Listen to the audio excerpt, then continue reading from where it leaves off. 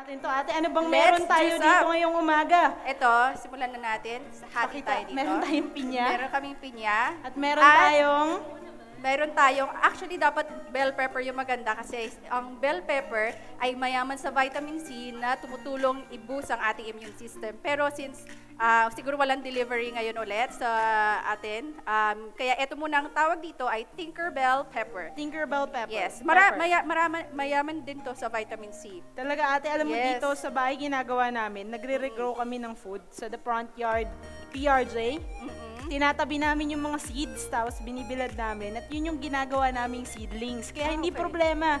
Kung wala kayong mapagbilhan ngayon ng seeds dahil first, uh, dahil nasa lockdown pa rin tayo, enhanced community quarantine, you can actually regrow your food using these ingredients yung available sa market. Yes. So, ang una nating gagawin ay yung ginagawa ni Ate Oo, ngayon. hahatiin muna natin, syempre, yung mga ating prutas. At sa, Wendy, ikaw, may technique ka ba kung paano paghati ng ano? Ng, Ng pinya? pinya na to? Alam mo ba kung paano? Actually, parehas lang tayo ng gagawin. Ayan, sige. Lilinisin. Syempre, balatan muna natin to. Um, Linisin muna natin ano nga- Tatanggalin yung mga mata, Ate Kay. yan. Ano yung technique mo paano pagtanggal ng mga mata na to? Ah, ginaganto ko siya. Yan. Ay, para po sa inyong lahat, sa Pero inyong kaalaman, alam niyo po ba na ang bell pepper ay mas mayaman pa sa vitamin C na pinag sa kung ikukumpara siya sa oranges. Kaya Yeah. ito po ang gagamitin natin ngayon para palakasin ang inyong immune system. Kasi ang vitamin C, yan yung mga tumutulong na palakasin yung mga sundalo sa ating katawan at yun yung um, white blood cells. Ayan.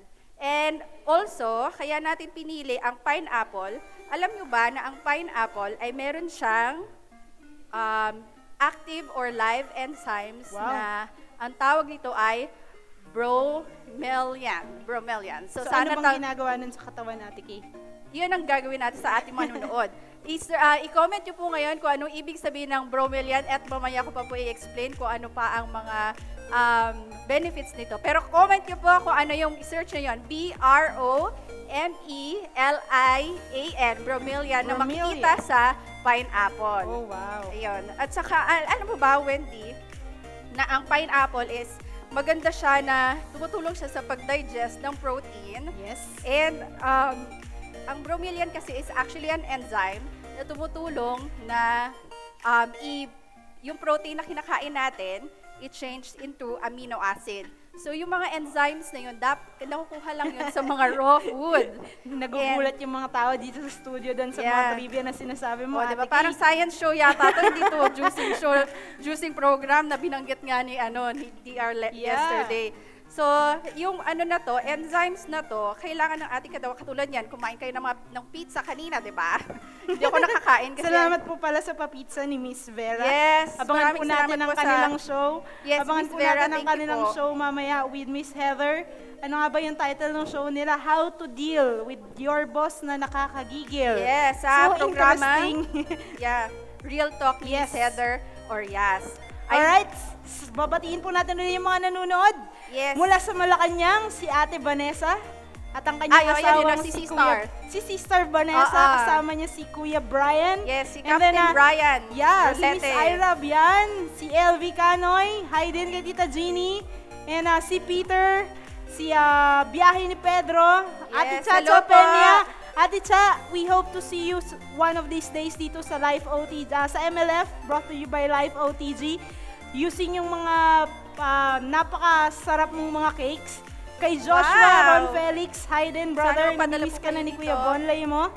And ah, let's keep on going, Ate Kay. Yes. Ayan, yung ano, ay natapos mo na ba tanggalin? Ah, actually, Konti ang pag ano ng pineapple, paslant yan. Yeah. Slant yung pagtanggal ng ano. Ayan, nakuha na niya. So, yun na nga po, ang bro, yung as I was saying, yung Yes. pagkain ninyo kanina ng pizza, natu- na, tapos tayo, yung pagkain nyo ng pizza kanina, mayroon yung meat.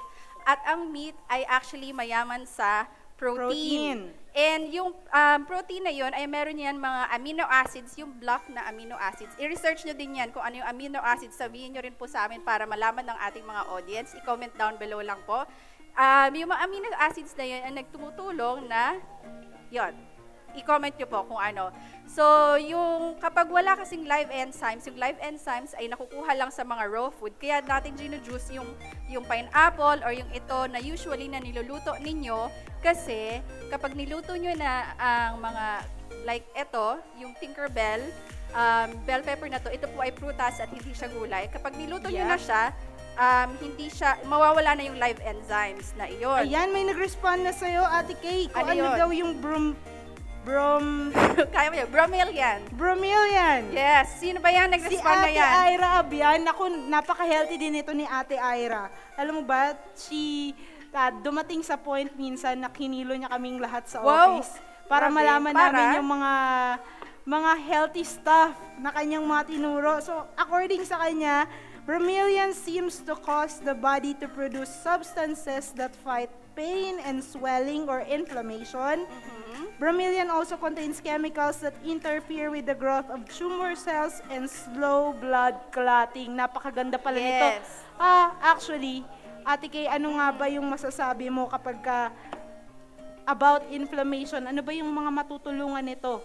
Kasi- Kasong bromelian na to na dala-dala ng ating pineapple. Mm-mm.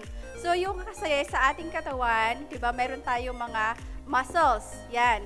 Ang tinutulong nito, eh, binip, ah, nagbibuild siya ng cells Uh-huh. ulit para mag-produce ng another cell, healthy cell, para makapag-produce siya ng enzyme at ma-absorb ng ating, actually yung enzyme na yun ay nagtumutulong, yung bromelian na yun ay tumutulong na pumasok sa bloodstream natin ng mabuti yung mga vitamins na katulad ng amino acid na nakukuha Wow. natin sa protein. Yun Yeah. yun. At kaya natin gino-juice, instead of lulutuin natin yung ano, better na lutuin ito kasi mas maa-absorb ng katawan natin yung mga vitamins na Aha. ginagawa niya. So sisimulan na natin Sisimulan, ngayon. habang. Sinisimulan mo na yan, ah, gusto natin uling batiin yung ating mga watchers and subscribers Yes. right now. Si ah, Marjorie Amit, si Michael Ante- Anteno, Susan Cantor, si Miss Ruth Dalay, yung guest natin sa Yes. Real Talk kahapon. Maraming si salamat Tita Helen. Aguinaldo, si Miss Maria Reyla Censereño after nung kanyang sumbagahan, di ba? Mm-hmm. Tapos nanonood din sa atin ngayon si Tita Yen Trinidad. Hi, Hi, Tita Yen! Yen! Kamusta? Yeah, mas Ay, na-miss ko yung pasta mm-mm. ni Tita Yen ngayon. Yes, actually, yung si Tita Yen ay ano siya, nagkaroon siya actually ng surgery nung nakaraan. Yeah, Sorry, oo. nabulgar ko na, Tita Yen.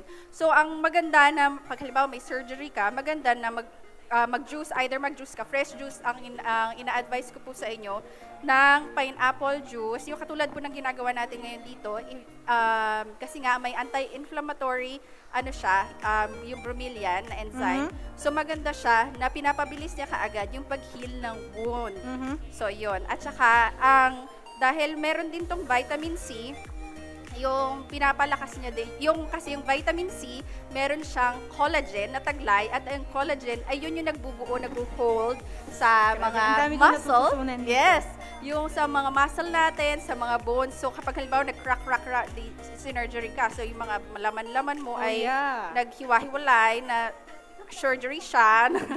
so, mas madali siya yung healing up nung ano, nung, nung sur- yung sugat na Yeah. yon. At kung halimbawa may mga cut kayo, Yes. yan, mas, Mas maganda. mabilis siya mag-heal. And I think, kung meron po kayong ingredient, baka po sa mga tahanan ninyo, meron kayong na-invento na mga ah, ingredients para makapag-juice to make our bodies healthy, I think, i-comment nyo po Yes dito. po. We wanna learn from you as well. Ako marami ako natututunan kay Ate Kay ngayon. But we Yeah. wanna also Praise learn God. from them as well. Sa bahay kasi madalas, alam nyo minsan ito, yung pipino, yung pinya, I mean, yung pinya, yung ah, Tinkerbell, Tinkerbell. um, Pepper. yeah. Tinkerbell pepper. Tinkerbell pepper. Kasi maliit siya eh. Tinkerbell pepper. um, ito, available sa market natin. Opo. Even yung pipino. Pipino in pinya is also good because pipino is alkaline, Mm-hmm. cucumber, and you can combine it with carrots, you can combine it with lemon. Natutunan ko rin yan sa nanay ko. Bayabati natin uli ang ating mga nanonood ngayon. Yes, Si salamat po. Isha ah. Abes, si Tita Mirna Miranda, ah, yung uncle ko dyan sa Ilocos, kanina pa sila nakasubscribe, so share mo now. So, ah, Yes, si ang Marie Copias daw na merong supa. Supas. Bisaya Pasensya naman na po di sa oy. first time ni Betty na mag, Ah, ano, mama, host ng program. Pa-sponsor daw ng sopas, sabi ni Coach Mm. Joshua. Yes. And also, salamat din po sa mga nag-sponsor sa amin ng P- ng kahapon yung cake. Ay, yung kay Sa- yeah! Find the light! Find the lights. Thank you Ayun very po, much po sa pag-sponsor sa Share Mo Now Mm, kaya kung gusto ni nyo, Ate Naomi Socrates. yes, kung gusto, Ang dami ko natutunan din At sa kanina. Ancient Dynasty Kitchen, nandito po si Oh, Kuya, yeah. si Kuya Mitch. Hello po.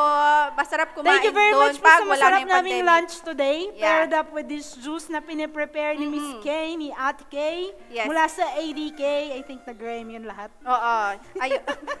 Ayun, marami, ano po, kung halimbawa, kung mga, ini-invite kasi po, ah, vegetarian ako, kung may mga vegetarian dyan na nanonood, kung mayroon kayong mga recipe, um, kung mag-comment lang Yeah. pa kuya, magpakilala kayo para pagtapos ng pandemic na to, pwede tayo mag-meet, mag-share ng mga recipe Yes. natin. And also, um, kailangan ko rin kasi ng mga advice kung saan kayo bumibili ng mga re- um, Yeah. essentials namin. Oh, kasi ka- usually tama, kapag ano ka, tama. vegetarian, Marami kailangan mo ng mga flax seeds, Yes. ng um, nutritional yeast. So, Yeah. kailangan, oo, sana i-share po ninyo dyan, magpakilala tayo so we could meet, di ba? Oh, yeah. Mm. So, yan, Wendy, it's almost done. Yep. Shout At- out Tita Yen Trinidad and uh, Renald Oo, yan, Baldonado. si Tita yan, Still watching pa rin right siya. now. Kay Doc, kay Doc Joseph Marce Baloyot. Yeah. Salamat po sa paglilingkod ninyo sa aming mga sa ating bayan ngayong mga panahon na to. Oo. Salute to all our frontliners out there. Salamat And, po. uh, Ay, by the way, si ano, si, Si Mai. Mimi, salamat din sa panonood, sa Yeah. iyong suporta.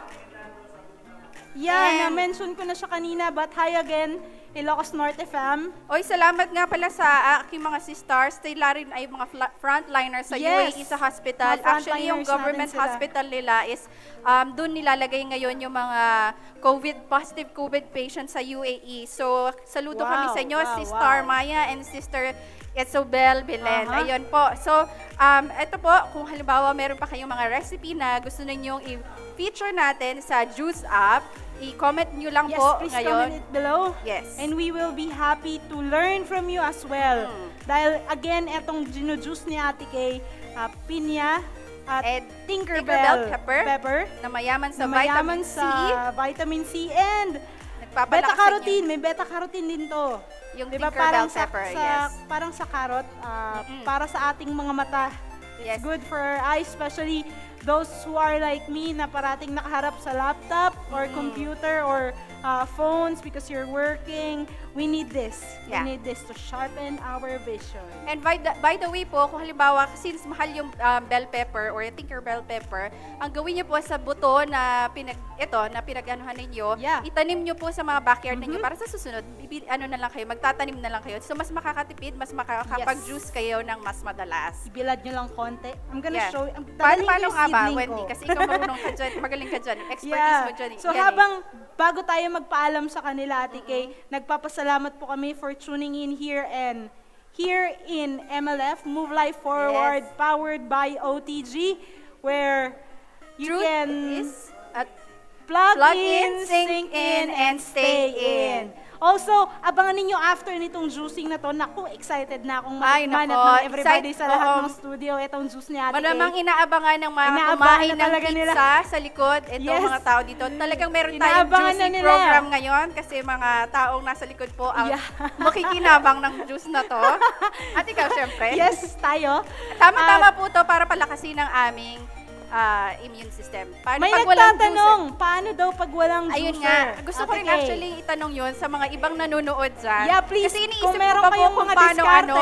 Yes, meron kung- kayong mga diskarte, Oo, kung may diskarte kayo, please let us know in the comments below and we will be happy Yes. to demonstrate. Gagawin namin yun. We will learn Gagawin it po with namin you. yun para sa inyo. Oh, Iniisip yeah. ko nga yan kagabi kung paano. Sabi ko, paano kaya yung walang juicer? Kasi ito po ay hindi masyadong mura. Yes. Oo, alam ko po yun. Pero um, kasi po investment po talaga kasi health It is. is. wealth. It is. So kaya nag-invest po talaga kami dito nung ang mother ko ay nabubuhay pa po. So Mm-hmm. binili ko to para sa kanya kahit alam ko mahal kasi I know the benefits nung ano, nung pag kakaroon ng healthy juicing. At saka kasi po, kapag ginujuice nyo yung mga vegetable na to at fruits, mas madali siyang ma-absorb ng ating cells. Yes. At, oo, kaysa, oo, kaysa imagine nyo naman po, itong pineapple na, na ginush namin ngayon. So, kakainin nyo siya. Siyempre, di ba, masakit sa, mahapdi sa bibig Bibig. yun. At saka so, sa kung lalamunan. mo na siya, okay na siya. Inumin mo na lang siya. Yan. Ayan, Ayan, ito na po. ang- Tikman mo na, Wendy Duday. I think ate, they, Kailangan- they should also subscribe to Live Oo. Search Tube. where our content will be Ito uploaded. na po siya. Ang Eto na siya. product.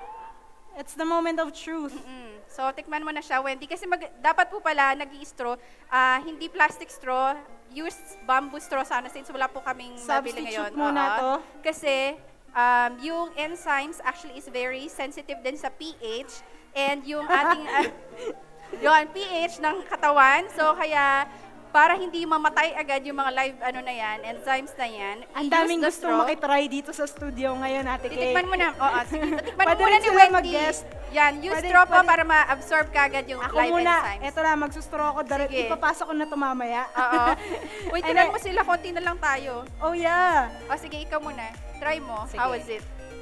Kung lasa ba siyang ano, dahil sa bell pepper? Ang sarap. Kahit Ah. pala walang honey, no? Yes, Kasi, kasi, sa matamis na bahay, kagad tong ano. sa bahay nilalagyan namin ng honey. excited! Gusto niyo na bang matawas tong show para makainom na kayo? pinatatapos na talaga nila yung show kasi Oo excited na nga. sila matikman to, guys. Ay, by the way, malinis yung kami namin ni Wendy. Naghugas kami ng kamay, ah. Pero Oo. seryoso, ang sarap talaga niya kahit walang honey. Opo. Yes. Yan, healthy healthy siya. Healthy, healthy. Packed with full vitamin C na mas um, actually um, more th- 100 200% siya sa recommended daily allowance ng Yes. vitamin C ninyo. Yung Tinkerbell pepper at combine pa ng pineapple. Pineapple. And so then- meron na sa reserve si Wendy na mga 2 days na vitamin C kasi Yes. 200% siya. Alright, Yun. maraming maraming maraming salamat po for uh, joining us Yes. today here in Salamat our po. quarantine juice up. Di ba, Ate Kay? Yes. And marami pa tayong matututunan from her. And again, we want to learn from you. So thank Yes. you for joining us. Comment down below kung ano po yung gusto ninyong recipes or may recipes po po ba kayo. Bye-bye! Bye!